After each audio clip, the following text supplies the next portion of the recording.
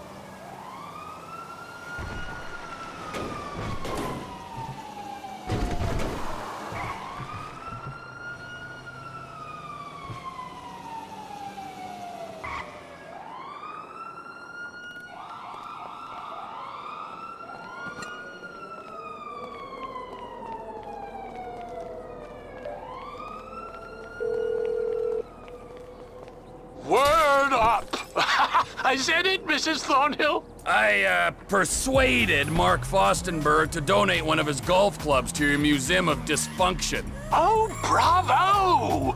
It will take pride of place on the wall above Jill von Crastenburg's pregnancy test. Speak to you soon. I love Americans. You're all so brash and uncomplicated.